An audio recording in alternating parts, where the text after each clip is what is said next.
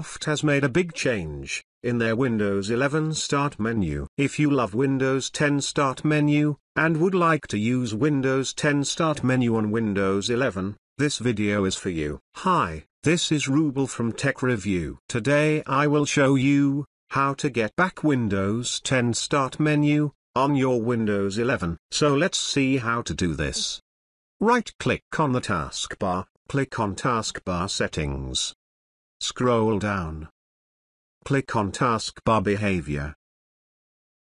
Click on Taskbar Alignment drop-down menu, and select Left. Close this window.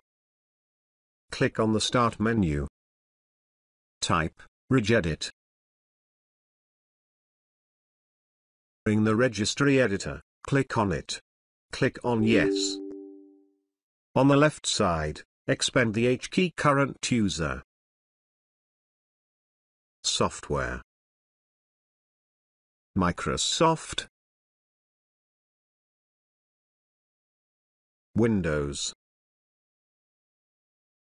Current version. Explorer. Advanced.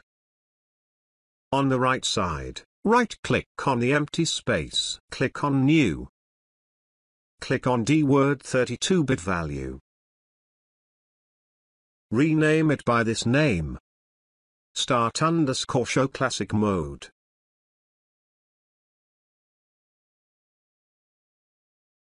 Double click on it. Change the value 0 to 1. Click OK. Now you can close the registry editor, and restart.